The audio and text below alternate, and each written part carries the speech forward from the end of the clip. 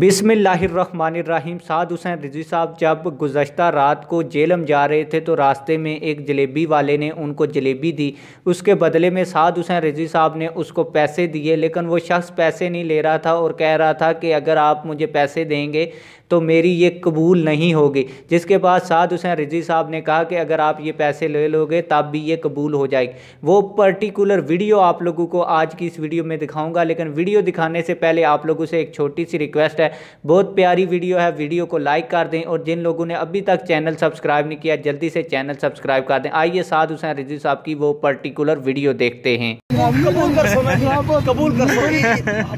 ਉਹਨਾਂ ਦੀ ਤਰਫੋਂ ਕਬੂਲ ਕਰ ਬੜੇ ਕਰਮ ਉਹ ਕਰਮ ਹਨ ਕਰਮ ਹੈ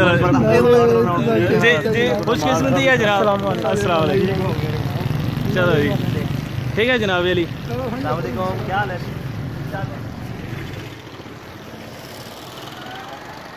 돌아가